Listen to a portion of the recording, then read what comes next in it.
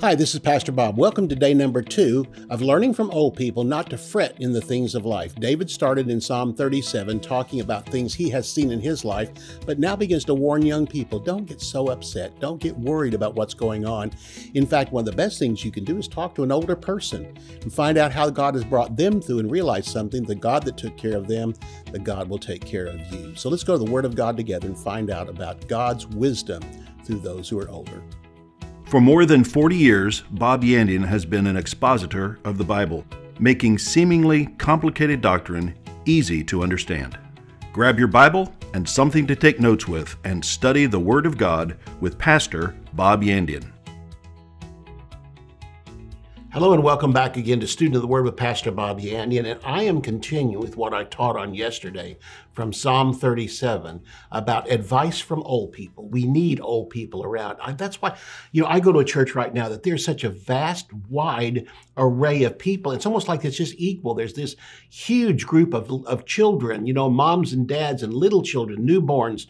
Pastor said here just a number of weeks ago, he said we have 20 pregnant women in the church. He said, that's just the ones I know about. And he said, you know, we're going to have a big population explosion here when those kids hit and, and all that. But then there's the, you know, then there's young kids. I mean, we're talking, you know, five, six, eight year old kids up into teenage years, then the young marrieds and, uh, and youth department. He goes, goes on, on all the way up to a huge group of older people and they all get along so well. This is what God's desire is. And that the young people can learn from the old people. Well, the old people can learn from the young people too. It's just a little harder for old people to learn how to operate their cell phones and all the different things, you know, YouTube and all those other things we have out there today. And it's fun to watch the, the young people teach them how to do this. And The old people kind of scratch their head but on the other hand, what young people need from old people is, the, is their advice. And old men are needed. Old women are needed for counsel, for wisdom. And again, in the church, especially for finances, because so many of the older people have a good amount of finances. You also need older people's wisdom. You don't need older people's ideas. Ideas, they'll find the carpet colors they want, the carpet designs look something from the 50s or 60s.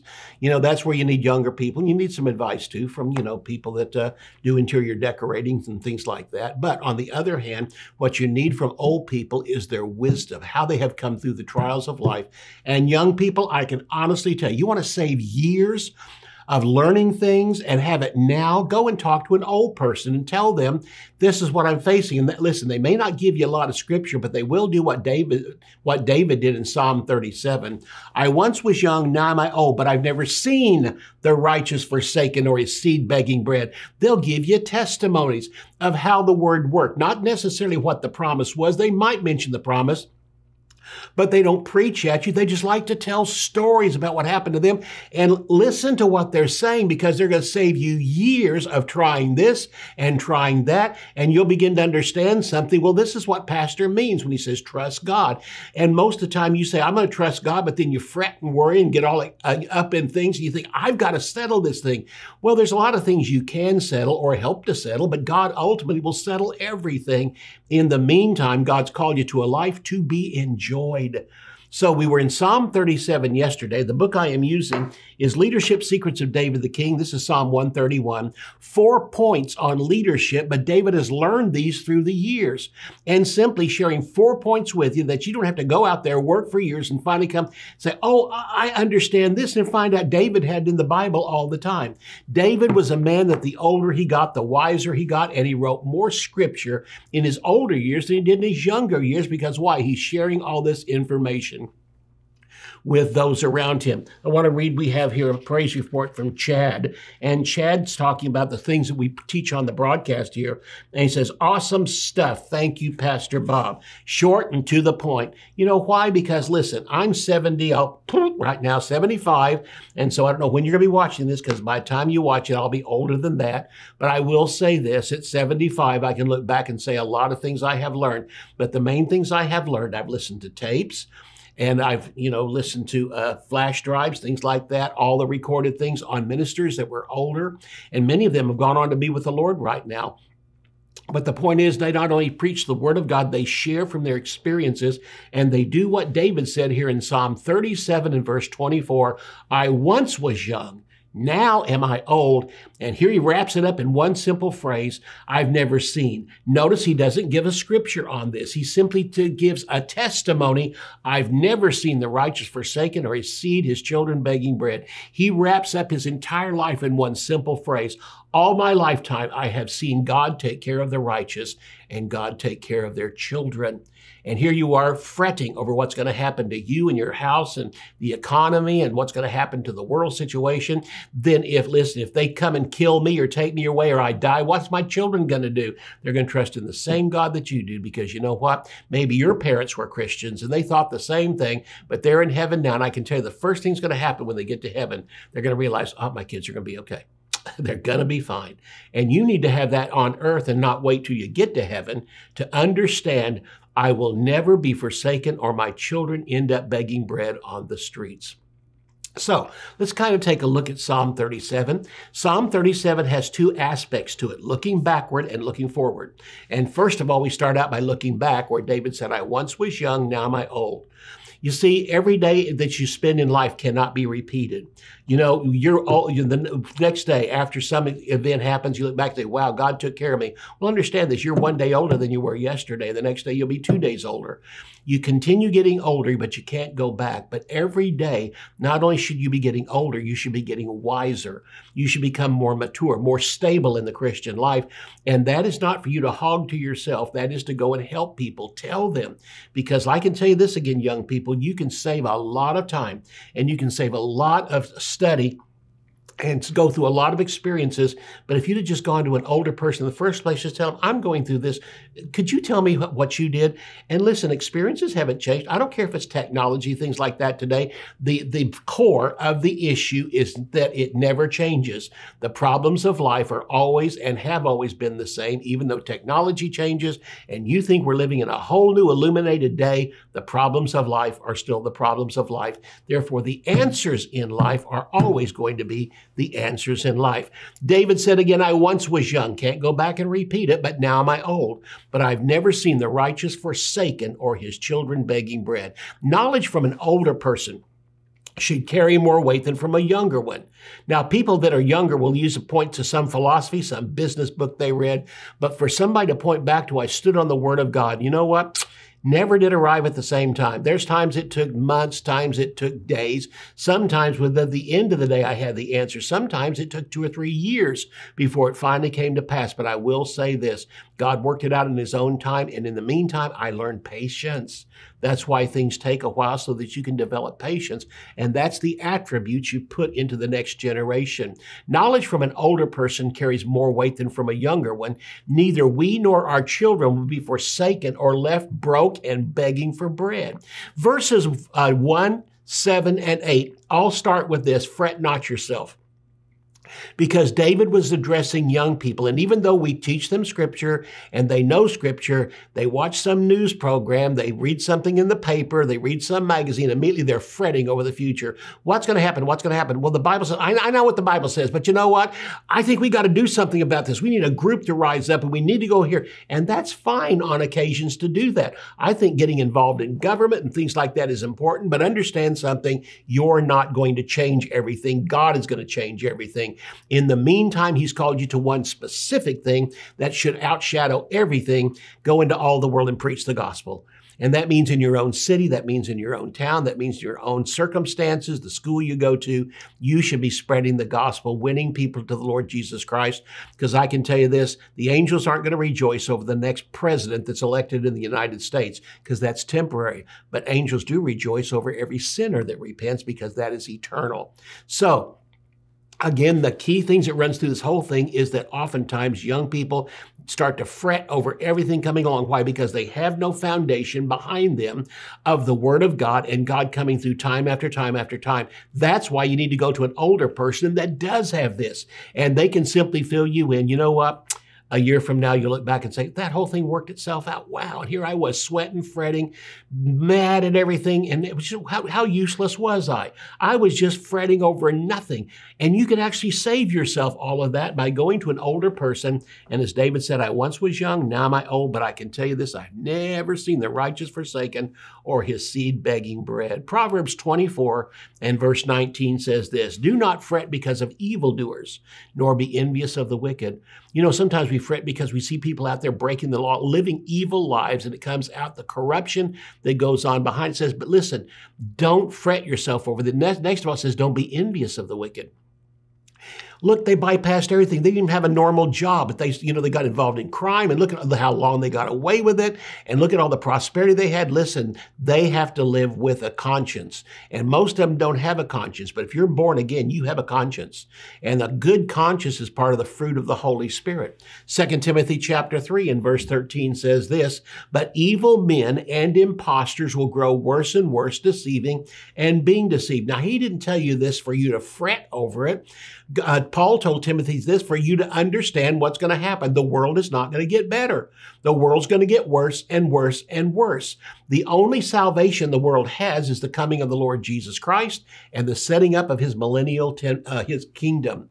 So the young tend to get overwrought about evil in the world. And the word fret in the Hebrew means to kindle, to wax hot. Don't get burn up. And listen, there's times when you'll start to fret. Stop it. If you don't stop it, you're going to get burned up and consumed by this issue. And by the time you get halfway into it, starting to help settle it, another thing's going to break out. You'll find yourself chasing fires from now on. So fret means to worry. And what the scripture is saying is do not worry. And what we're not to worry over is evildoers. Proverbs 24 and verse 19, again, we quoted it and says, and don't be envious of the wicked. So don't worry about these things. In fact, worry is one of the worst things found in the Word of God. And Jesus spoke so often about it. Don't worry about this. Don't worry about that. Take your worries and cast them on the Lord. He will sustain you. Next time you hear something, uh, listen, the, the, the tendency to want to worry about something is always there. And as soon as you settle something, say, I'm not going to worry about this, something else comes along from a totally different direction on a totally different issue. And your first thought is, what are we going to do about this? Is there anybody handling? Does anybody? Am I the only one that knows about this? The answer is no. Hang on. The God that took care of the last one and the one before it will take care of this one. And like I said, this is a great time when you go to church to just sit down beside some older person and say, you know what? How long have you been saved? They might tell you, well, I've been saved for 40 years. You know, well, listen, I'm facing this situation. I don't know if you ever had, and they'll probably laugh at you go, yeah, we faced it. We had the same problems. There's there's no new problems. They just come up, you know, from time to time. We stick a different title on it, but it's the same old problem that's always come along. And this is how God dealt with it in my life. And listen, take notes on that because why? You're going to save yourself a lot of worry, a lot of time, a lot of trouble, and you can get back to doing what God told you to do while you cast your burden on the Lord. So, and 2 Timothy chapter 3 and verse 13, that's what it says. But here in this particular psalm that we're talking about that David wrote toward all those, again, younger than his day, Psalm 37, it says in verse 1, fret not yourself because of evildoers. An evildoer is more than just an average sinner. He's one that's under the control of evil, and its author, Satan. And we are seeing so much of this today. When we come back, we'll talk about this. Again, you can have your copy of this book of Leadership Secrets of David the King, and the announcer is going to tell you how you can have one. Godly promotion seems always to come in steps. Slow growth allows us to learn valuable lessons on the way up, so once we reach the top, we can stay there and truly enjoy the benefits of success. It took many years from the time that David was anointed king until he became king of Israel. Those who advance too quickly because of their own efforts and talents often find the descent quicker than the ascent. Pastor Bob Yandian has based this book, Leadership Secrets of David the King, on Psalm 131, which reveals the secrets of David's successful leadership that he learned while ruling as king over Israel. To order the leadership secrets of David the King, visit our website at bobyandian.com. Theology Simplified is a practical guide to foundational biblical truth. Basic doctrines are not difficult, but easy to understand. They often become disguised as complicated or deep sounding words, but the definitions are simple. Pastor Bob makes complex theological concepts clear and practical. Eight crucial doctrines are demystified redemption, justification, sanctification, reconciliation, predestination, election, propitiation, and glorification. These eight precepts, essential for all believers to understand, come to light as you read and arrive at a deeper understanding of the finished work of Jesus Christ. To order Theology Simplified, visit our website at bobyandian.com. Bob Yandian Ministries is training up a new generation in the Word of God. Because of your generosity and faithfulness, this teaching ministry is able to change countless lives. You will never know until you get to heaven how many people received Jesus, were filled with the Holy Spirit, healed, or found God's will for their life through your support and prayers. If you would like to become a partner with Bob Yandian, visit our website at bobyandian.com and click on Partnership. In this particular psalm, again, David is talking to young people and old people, kind of dividing up this particular psalm uh, that David is doing right now in these verses of scripture. And he starts looking back on the past. And this is how he instructs young people. Listen, young people, I've been there before. Then he starts looking toward the future about how God's going to take care of the future. And by this time, David is old, but he knows he still has a number of years yet to go. And he's simply saying this the more secure you are in the past, the more secure you can be in the future. Once you know that God's taking care of you every day up until now, simply means He's going to take care of you in the future. There's a verse of scripture in Romans 8 that says we were sanctified and glorified and all this other stuff. But the last thing it talks about is we've been glorified. Uh, we've been saved. We've been, you know, God's done all these things for us and justified us. But he says, whom God did all this for, he is also glorified, and it's past tense. Glorified is a term for having a resurrection body. When we receive a brand new body that's made of glory, not just this physical thing we have here. This will be an eternal body. And he talks about it's a glorious body. And that is past tense. What does that mean? I haven't got there yet, but God says it's a done deal. It's going to happen. I don't care what you think, what you know, you're going to end up there. In fact, God sees you a million years from now. Let's, let's put it on out there. God sees you 20 million years into the future in a resurrection body in heaven, rejoicing around the throne of God. What does that mean to me now? God says it's a done deal. Well, if it's a done deal and God says it's going to happen no matter what, then I can understand something. I'm going to make it through this problem. And I'm going to make it through the next problem. And I'm going to make it through the next problem and the next problem and the next problem. Because why? God sees me in heaven in a resurrection body. So apparently I get past all this stuff. Understanding your future is incredible. And that's why David says, I've never seen the righteous forsaken, his seed begging bread. And he's speaking here to young people who have not yet come across those types of problems in great amounts. And he's simply saying, This is what your future is going to be. But the God that took care of me is going to take care of you. I've never seen the righteous forsaken. Verse 1 of this psalm says again, Fret not yourself because of evildoers. An evildoer is more than just an average sinner. He's one who's under the control of evil and its author, Satan. And we we see that today. Here in Psalm 37, David is actually looking back to his own past to help those young people who are living today. Again, an evildoer is more than just an average sinner. He's under the control of the evil that's in this world, and Satan is the author of that evil, and Satan is part of the world system. He's the ruler of this world system. And so this person has joined himself to the plan to assist evil and assist Satan in taking over the world's order and eventually destroying believers from the earth and eventually Israel. This is Satan's plan for the future. Won't happen.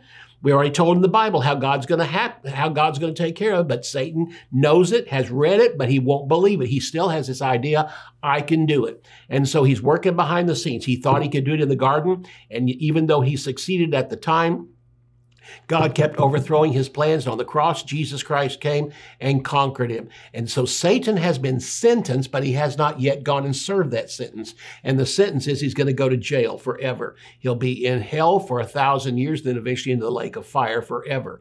But it hasn't been, again, that sentence has not been carried out. So we are between the point when the sentence was given to him and when, and when he will finally go to prison. And he's still saying, I can do this. I can overthrow God. And he's trying his best. So we we do not fret because we know what will become of evildoers. We know what's going to happen to all unbelievers.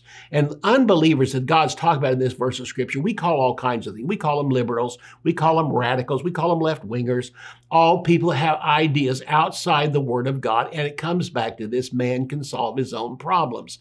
If we'll all come together and think alike and work together with all of our governments, it's going to work. No, you run into problems because those who take over are fighting for themselves.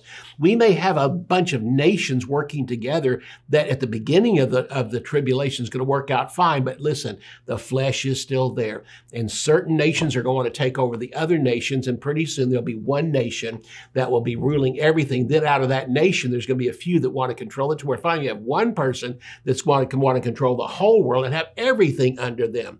So again, with all the things we see happening today, it's shaping up for this utopia that the world is talking about. But listen, the utopia won't come until man's is over and the millennial reign of Jesus Christ starts. So we need to get involved in prayer and action, but we don't need to get involved in worry because God's going to take care of it. Verse 7 says the basically the same thing. Fret not yourself because of him who prospers in his own way. This is talking about those who prosper because of evil. They get into crime. They could be, you know, government leaders, and we're finding that out today. Government leaders involved in crime, involved in drugs and, and cartels and all these different things. And yet the point of it is it's nothing new. It's happened before. And there are evil people people who prosper in their way, but it's not God's way. Eventually, they're going to die. There's no way any of these people are going to live forever on this earth. They're going to die. And once they die, they're going to face God. So those who prosper because of evil ways are not to be envied by God's people. God's plan of prosperity is slower and built on obedience to his word and his plan for our life. So again, God's plan is slower, but you get to keep it. God brings enduring riches where the world system, it slips through their hands. After a while, it's lost by the next generation. God's plan also will endure from one generation to another and to another, or as it says of God's prosperity, if you'll follow after him, it will go to you and your children and your children's children. Those who prosper because of evil will eventually lose it. God will see to it the prosperity of the evil will be set aside for God's people when their time comes to die, they will lose their finances to God's people because the wealth of the wicked is set aside for the just. And listen, this money we have that we even use in our pocket right now, it's part of the world system. God put it here, but the world took it over. And that's why, again, when God sends finances your way, He doesn't manufacture it in heaven, so it bypasses the world system. The money that's in your pocket might have been doing drug deals a year ago or something like that. But God simply says, listen, it's been set aside for you. They might have got it through evil things, but you don't know about it. It's just money in your hand, but now you can take it. And where they laundered it for evil, you can launder it for good. You can, it's like washing it and now using it to send forth the missionaries, those that are spreading the gospel of Jesus Christ, the expansion of your church building, all the things that are going on around you, you now can become a participant. So the more you worry over evil, the more you're tempted to do evil yourself. Why? Well, why should I keep on in this normal job and sweating and doing all these things when all I got to do is just do do a few little things on the side and I can say, be blessed. What you're going to do is going to hurt other people and it will displease God. So don't act the way of the world because you'll end up being cursed for it. Look forward. Instead of just looking at what's going on right now, what does the Word of God have to say? So again, why do we fret over evildoers? Verse 2 tells us they're soon going to wither. They're going to be cut down like the grass. They're going to have a short lifespan, a quick destruction. They soon will be cut off, and this means in their prime. In verse 10, it says they soon will not even exist on the earth. Verse 13 says their day is coming. That's the day of destruction. Unless they turn to God, get born again, and start following Him, their day of destruction is coming. It says in verse 15, their sword will enter into their own hearts, their bows shall be broken. In other words, the devices they are using to conquer others, they're going to fall into the trap themselves. Verse 17 says, their arms shall be broken. And this is what they use to pull back on their bow. So the very strength they have will be diverted and they won't be able to use the talents and the things they have learned, okay, because they were using it for wrong reasons. Verse 20, they shall perish and be burned as the fat of lambs in into smoke. What does that mean? There's going to come some destruction on the earth one day, and they're going to be caught up in the flames and fire of it when Jesus Christ comes back. And that's why, even in the tribulation, one of the most important things to do is keep spreading the gospel, spreading the gospel, spreading the gospel. And those that are caught up in evil can give their lives to the Lord as well as everybody else on the earth that's so fearful of what's going on around them. In other words, it starts now. Don't be fearful. Because why? There is coming terrible times into this earth. I know we're going up in the rapture, but I can tell you this, it's going to get worse before the rapture even comes. The world system is headed toward the tribulation.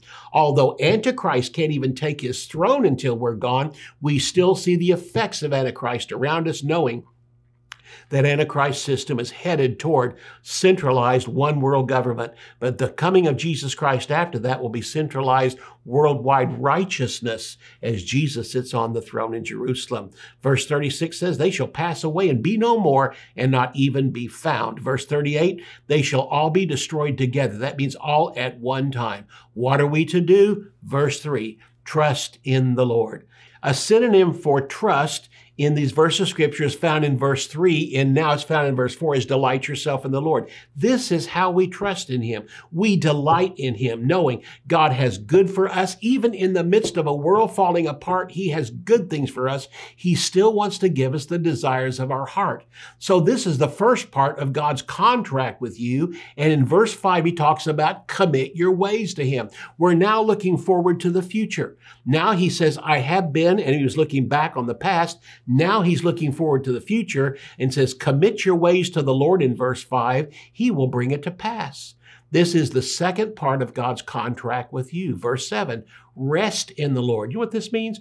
Take his promises and understand God's going to take care of me. Like Jesus sleeping on a pillow in the middle of the storm while the storm was throwing that ship everywhere, you in the midst of the storm can rest on a promise. And there's 7,000 pillows, 7,000 promises in the Word of God that you can lay your head on. So it's simply saying in verse 7 by resting in the Lord, keep your mouth shut don't talk back to God. Quit challenging God by rehearsing the circumstances to Him. Isn't it amazing? We're always saying to God, but don't you know what's going on? Like, duh, of course He knows what's going on.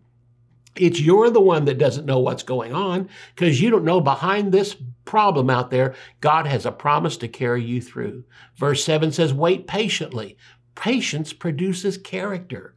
Verse 8, cease from anger. Stop anger immediately. Change your attitude. Anticipate deliverance with a joyful attitude. And in verse 8, forsake wrath. Turn loose of anger. Turn loose of wrath. Quit making excuses for it. My father was this way. Well, then stop it. You're not your father.